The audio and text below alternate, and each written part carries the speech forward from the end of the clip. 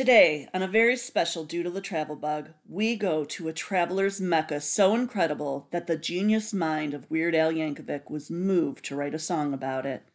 In the history of music, there has never been a song that speaks so strongly to the heart of my family. We are going to the biggest ball of twine in Minnesota. Stick around to see if it lives up to our expectations and what exactly made Alex so pissed. So, where you want to go today?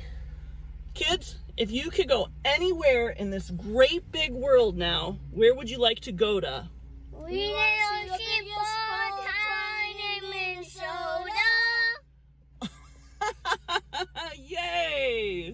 The biggest ball of twine in Minnesota is in Darwin. Some people say that's the middle of nowhere, but it feels like coming home to us.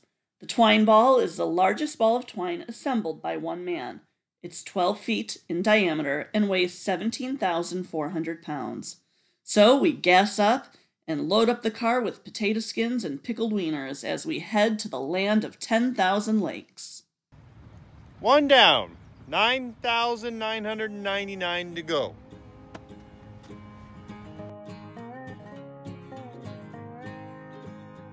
Watch your fingers.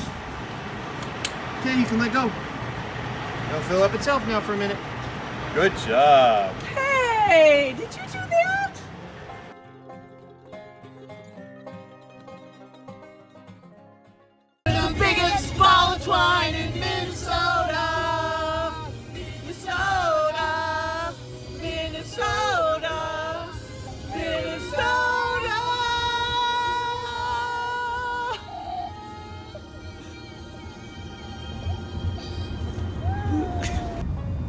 Oh my god, it's beautiful.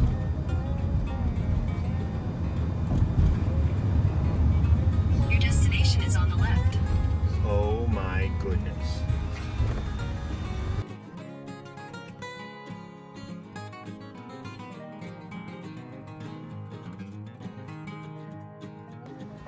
Marco, is it everything you thought it would be? I, I thought, I thought like spools, not twine balls.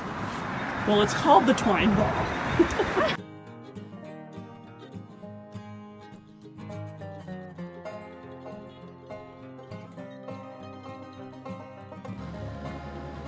what do you think, Beebs? Good. Is it as amazing as you thought it would be? Yes. Yeah. Hey, What? this right here is what America's all about. Yeah, maybe.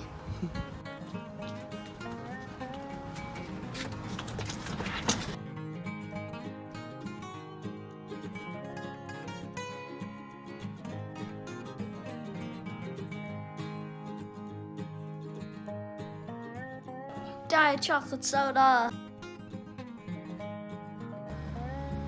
Overwhelmed by the sheer immensity, I to pop myself a beer. Cheers.